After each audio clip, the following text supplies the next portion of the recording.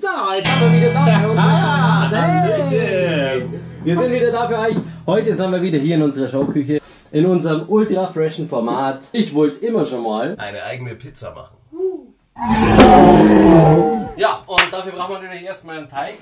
Wir haben hier ein Pizzateigrezept. Der Manuel ist verletzt. Ich kann halt gar nicht so viel machen. Darunter ist eine, eine fette Fleischwunde. Impresario. Und ihr, ihr seht schon, ich reib mir schon die Hände. Also das ist unser Rezept. Ich mache halt die, die Low-Budget-Sachen, die nicht so aufwendigen Dinge und der Basti zeigt uns, wie man kocht. Ich habe einen echten Showkoch aus dem Oberland zum äh, Bruder. Und ja, wir haben uns natürlich vorher die Hände gewaschen. Ich muss es einfach behaupten jetzt, weil wir haben nach dem letzten Video mit Wurstsalat Rüffel gekriegt, über dass wir das Küchenknicke nicht einfach nicht Nein, ich habe mir die Hände gewaschen, habe dazwischen immer ein bisschen Nasenbohrt. Wir brauchen 500 Gramm Mehl, 500 Gramm Mehl, 550 und 500 äh, und Pushima! das ist auch weiß. Zack, das ist ja tatsächlich officially das erste Video, wo ich kein Kappel oder kein Hut auf habe. Nicht erst, nicht erst 21 bin, sondern schon 25 und Haarausfall. Na, du stehst halt auf sowas. Das Die fleischfarbene Badekappe. Und 5, 6 Personen, da brauchst du schon Kilo Mehl, deswegen so viel. 10 Esslöffel Olivenöl, kannst du das machen? Habe ich mit meinen eigenen Füßen getreten und ent, entsaftet die Oliven. 10 Esslöffel bitte. Äh, und was nein muss, ist Trockenhefe. Das, es gibt keine andere Backhefe mehr, weil Backhefe ist offensichtlich das neue jetzt. Weil Ich glaube, wir können es einfach kurz mal erzählen. Es war damals so. Der Manuel, der hier neben mir, der schöne Mann, der hat damals äh, eine Flaschen Öl bei mir hier in der Küche Runterfallen lassen. Er hat öfter mal mit Öl experimentiert, was durchaus keinen erotischen Hintergrund gehabt hat. Sondern da waren die blanken Wände mit so Tapete, war alles voller Öl. Hier ist dieses hier Trockenhefezeig. Wie mal Daumen machen, ich habe keine Ahnung. Mal einfach mal. Ja, und wir haben inzwischen schon lustige Nachrichten gekriegt, dass manche Leute kein Wurstsalat mehr machen können ohne das SOS-Prinzip. Und jetzt brauchen wir noch 500 Milliliter Wasser, lauwarm. Ihr könnt jederzeit Kommentare schicken. Ihr könnt uns auch geile Ratschläge geben, ist uns aber meistens echt scheißegal. Also Hasskommentare. Feedback zum Thema, die Wurst ist zu dick oder sowas. Das ist ganz legerio. Aber es ist geil, wenn ihr Teil dafür seid. Du kannst das Wasser nicht schütten, dann wollen das Teamwork. langsam? Wir müssen flott machen, weil wir machen ja nicht nur Teig, sondern wir wollen ja Pizza machen. Halt, und zwar auf ganz spezielle Art und Weise.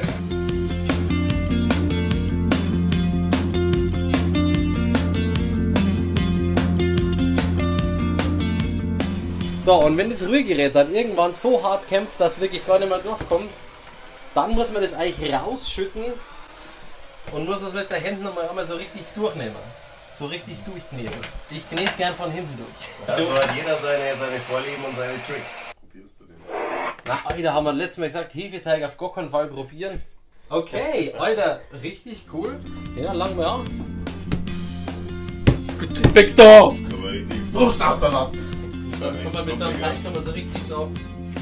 Boom! Den kann man so richtig. Lass dir weg! Ey, Was? Ja, ich glaube, man muss es sogar machen. Wir kochen nur für uns, also müsst ihr ja wissen, wir kochen nur für uns. Und wir mengen das, wenn es ein bisschen salzig ist noch von vorher. Wir lassen keinen mitessen, der uns verklagen kann oder so. Wir verkaffern das natürlich auch nicht. Ihr dürft euch auf gar keinen Fall in puncto äh, Küchenknicke oder wie auch immer man das nennt, äh, an unser Beispiel nehmen. Dann haben wir den Druck in die Schüssel, lasst man gehen und treffen wir uns dann unten an unserem geilen Pizzaofen wieder. Okay, gut.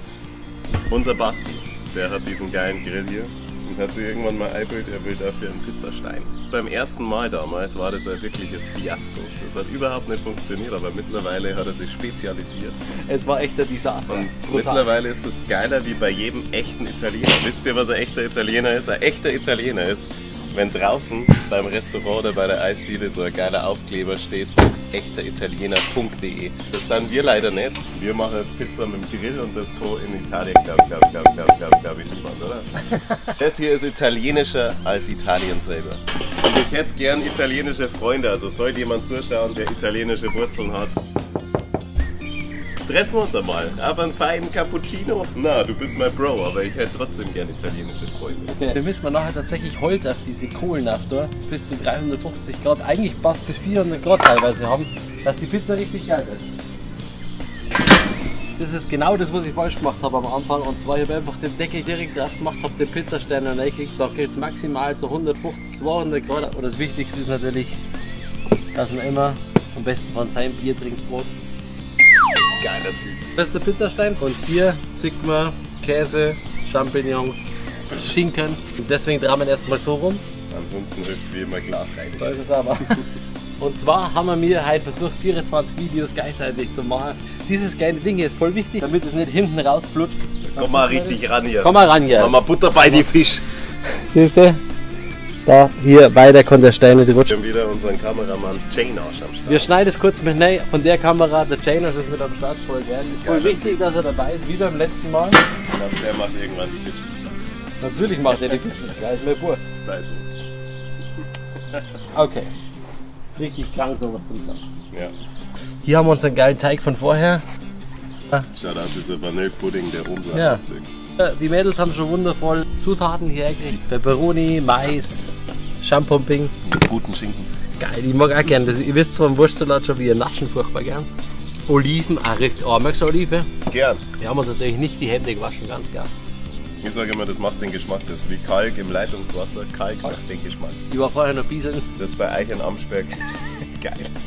Schön salzig. Da gibt es nichts anderes wie Nummer einfach einen kräftigen Brösterchen drauf. Prost, ey.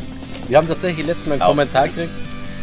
Da hat jemand gesagt, merci, danke euch, dass ihr bei eurem Lagerfeuer machen Video so viel Bier getrunken habt. Äh, Seine Frau Maite hat immer gesagt, er, also die meckert immer, dass äh, ihr jetzt viel Bier trinkt, während er macht so Grillvideos. Das ist so ein Typ, keine Ahnung, kennt ihr nicht. So, der macht Grillvideos. Ich habe Ja. mir immer gedacht, so, er schmust mit seiner Frau und trinkt nebenbei Bier. Und hat das da die Kacke findet.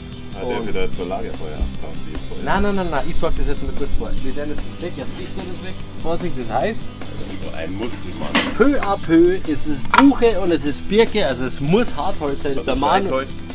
der Manuel hat in der Früh... ein eher- äh, Der Manuel hat in der Früh. Weichholz und ich habe ein Hartholz in der Früh. Das ist der Unterschied. Das heißt, im guten Fall habe ich noch zwei Jahre zum Leben. genau. Toll. Dann müssen wir uns schicken mit Videos. Obwohl das für dich ja gar nicht so schlimm ist, weil du bist ja dann tot, aber ich stehe dann blöd da mit meiner Trommel. Das ist das Problem nämlich eigentlich. Was Genau. früher schief gegangen Ich habe vorher schon erzählt, der Deckel war zu und dann wird es nicht so richtig heiß. Und das ist hier geil, weil hier ist vorne das offen. Echter Italiener. Echt, echter Italiener. Da sind wir schon bei stramme 250 Euro, obwohl das Feuer noch gar nicht so lodert. Hier Euro. filmen wir auf die 250, was habe ich gesagt? Euro. Und wie viel brauchen wir? 400. 350 Euro. Äh, 350 Grad brauchen wir. Bro, der hat so viel Geld, der denkt immer nur an Money, Money. Was? Das sind total viele Käfer hier, macht aber nichts, weil es Das ist ist so, Protein. Das ist halt Survival. Das ist, wenn man Outdoor abhängt. Das sollen jetzt fünf Pizzen werden. Ach, das werden nicht, das werden mehr Pizzen. Wir machen, also der, der Trick, der Tricks, da ist er wieder, der orange Tricks dabei, Der Trick. ist, dass wir kleine Pizzen machen, ja. Weil einfach auf diesen Pizzaschaufeln und auf den Pizzastein eine große Pizza relativ schwierig zu handeln ist. Okay. Okay, du weißt schon, die echten Italiener machen das irgendwie so. Ja, genau. Ah, das geht aber nicht, das kann ich nicht, weil ich bin kein echter Italiener. Ja, da haben wir schon. Aber wir können uns ja auch für diesen Blog jetzt unten so einen echten Italiener.de einblenden. Hier ist halt wichtig, dass man so das Kalkül findet zwischen, äh, wem winkst denn du? Hm? Wem winkst du denn? Ich hab mich kratzt. Da hat meine Oma übrigens immer gesagt, nicht kratzen, waschen. Ah, schaut her, hier, das Jetzt ist so ein lustiges. Aroma. Das ist wirklich voll der gute Teig, aber der ist jetzt leider nicht so richtig rund geworden. Das ist auch geil. Was viele Leute denken immer, wir Musiker, wir haben kein Geld. Aber ich sage immer, wenn du dir dieses Anwesen anschaust von Basti Du hast dann Band, sondern Loft, du hast. und der Basti hier Hektar ohne Ende. Und wenn du gerade zuschaust und eine weibliche Person bist, das alles könnte dir gehören. Da in den Händen, wo ich bin, da ist Aber jemand das ist aber nicht von dir, dass du das sagst. Ah, okay. Oh, jetzt haben wir richtig Hitze hier drin, ne? Jetzt hier richtig Oh. Ballung. Richtig Ballung. 400 Grad, das, das darf halt eigentlich fast zu heiß oder? sein. So ein bisschen Mehl und dann zack. Und dann auf, dieses, auf die gemälde Pizza, was gar nicht, wie das heißt, Schaufel. Hier, mein, mein Arsch brennt voll. Pizzaschieber. Wie heißt das? Schieber, Pizzaschieber. Und jetzt kommt diese geile Tomatensauce natürlich, äh, Special äh, Rezept. Machen wir so basic ein bisschen, ein bisschen Schinken. Kommt da hoch, wie wenn es. Keine Ahnung, das ist zum Probieren. Die erste ist immer so die Probierpizza. Das macht man ganz gern mal falsch. Man darf eigentlich nur mal zwei so Zutaten drauf machen. Also machen wir mal Mais und Schinken. Ein bisschen Käse und nice. Und spicy.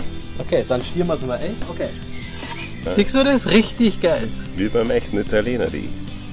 So, wir müssen einfach diesen 350 Grad Moment abwarten. Au. Boah, 400 Grad ist echt heiß. Leck mich am Arsch. Dann reißen wir diese Pizza mal auseinander und übersägen wir komplett, dass die unten ein bisschen gut dunkel war ist. Mm. Mm. Richtig geil. Mm.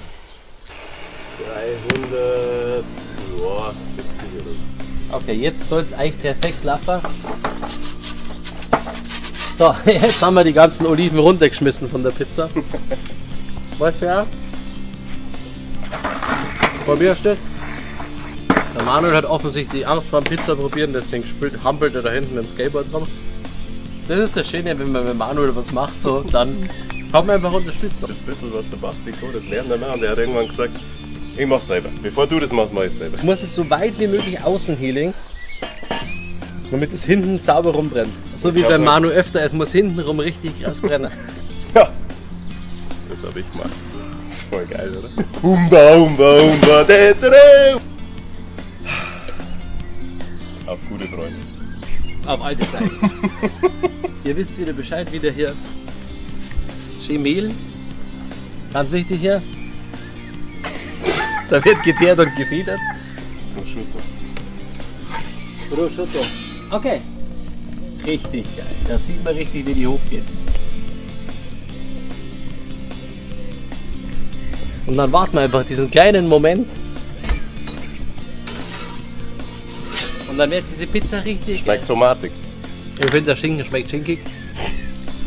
Okay, in diesem Sinne. Oh. Wir aufpassen. Schnell den letzten Schluck. Das war, ich wollte schon immer, Eine geile Pizza machen. wie beim echten Italiener, beziehungsweise noch viel besser. And here we go.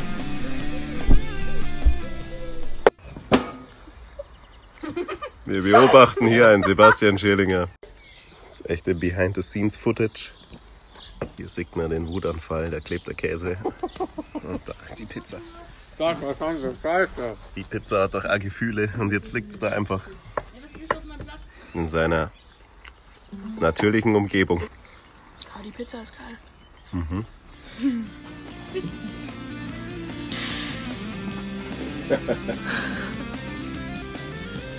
Das war, ich wollte schon immer.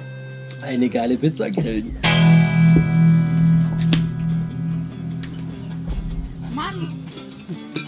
Schneidest da mich nicht rein. Ich kann dich verklagen. Anzeige ist raus. Ich kann nicht Okay, wir haben ja nichts. Eine Million ist einfach